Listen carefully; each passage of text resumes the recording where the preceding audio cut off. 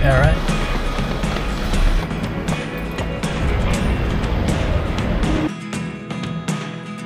Taking a tour of the River Avon.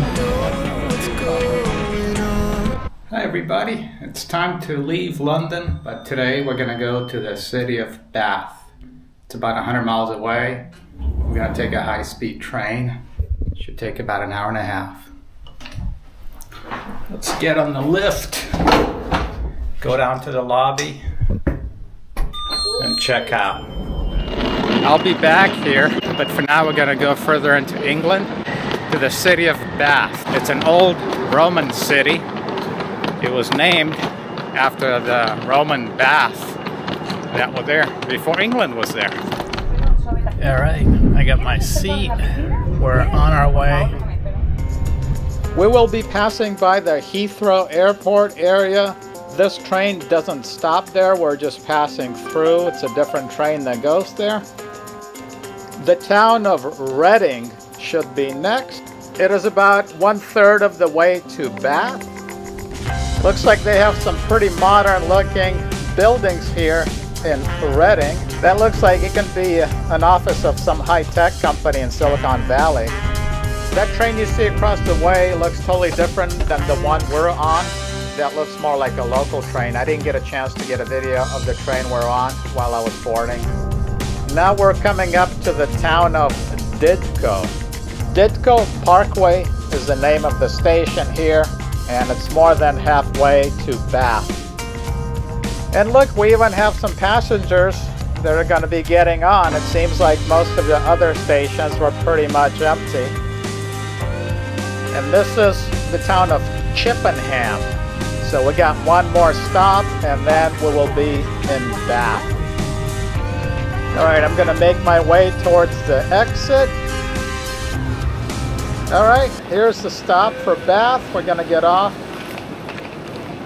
All right, we made it to the city of Bath. Six minutes. We just go find our way, find the hotel, check it out. It's funny to see a Paramount Pictures ad all the way out here. I think we should go this way. Wow, that's a really small tunnel. I wonder if people back in the day had to get off their horses and walking through here. It's uh, cities here, so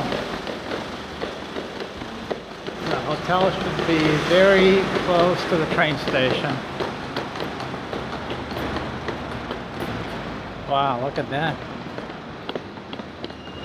Beautiful looking city. I'm glad it's a nice, beautiful day as well. Ah, there's the train station. You can hear that diesel engine from the van right here. There's definitely way more diesel powered cars here than we have in the States. I've noticed that. I've also noticed that everything here is a lot smaller and very old from the smaller streets and the smaller sidewalks. I know it's pretty obvious going to Europe. It's just that your mind is used to certain sizes and dimensions and when you come here it takes a few days for your mind to get adjusted to the smaller sizes of everything. Nice English gentleman just helped me out with some directions. He was local. My GPS does not work here, but he said I'm on the right path. And it should be right after that blue and white sign.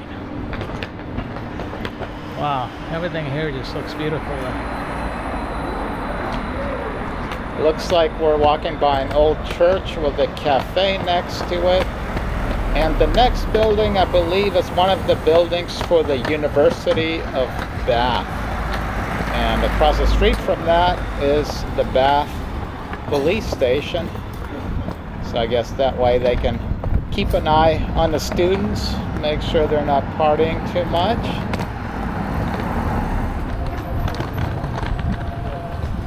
after I get checked in and settled, we're gonna have to walk around and explore this beautiful city. We're coming up to the hotel. I already see it right there after this parking lot.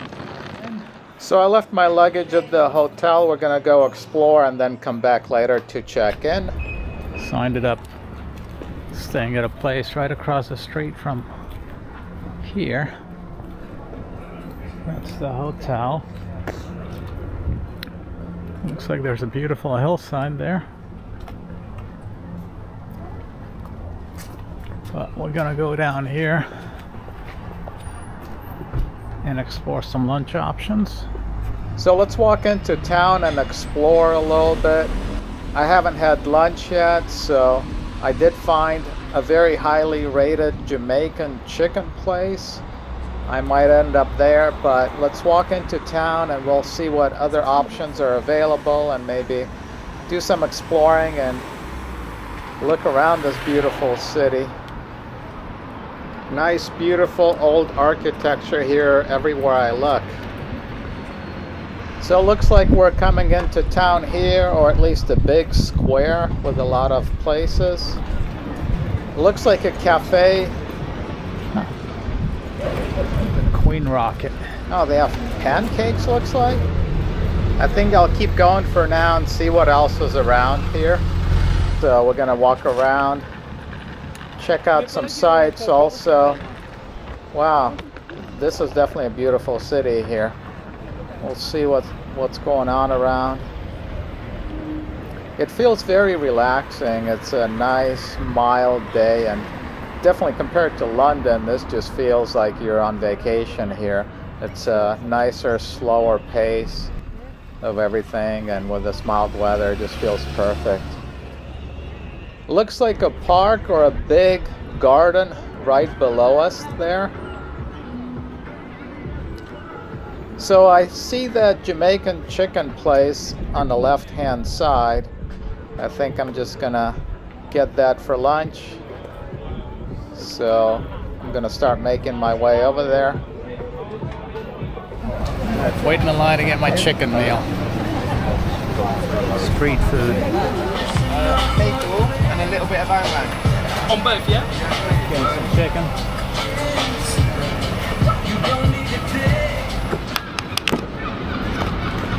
Alright, time to eat my lunch. Hi guys, so I just got my hotel room. I got checked in in Bath. Thought I would give you a bit of a room tour. It's common to have tea and biscuits in the hotels, and I like this cabinet here. It's got a tea kettle with cups for coffee and tea, and Cornish biscuits, or as we call them, cookies in the US. It's got a nice little desk here.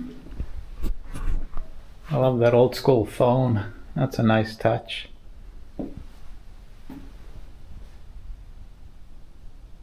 King size bed. That looks like a heater and air conditioning. That a chaise lounge? And uh, some nice artwork about the city and the Roman bath.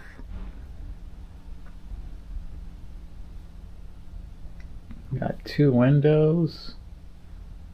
Well, I think I did okay on here. The bathroom too, kind of lets see now you're in Bath, judging by the bathroom. You got this beautiful tub.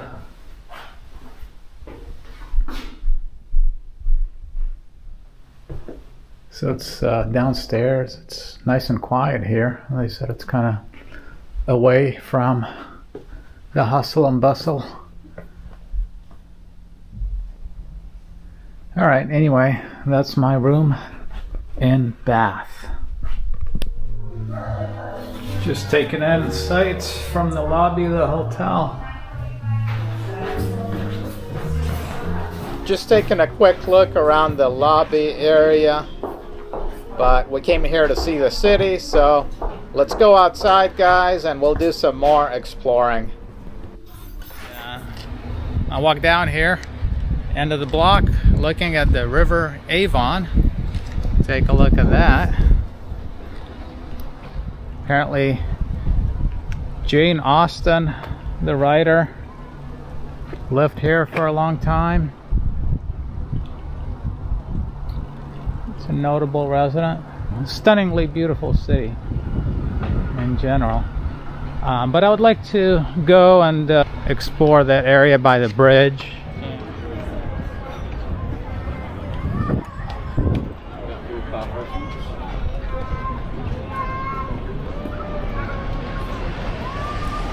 Parade Gardens. So apparently it's a private garden. You can pay two pounds and go down there and hang out in that garden. But you can see the whole garden from the top here, so unless you want to sit down in the grass, I don't think you want to go down there because the view is from here.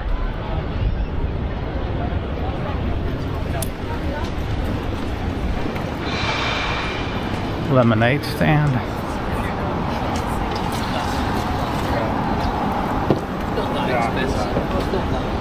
There's that beautiful bridge.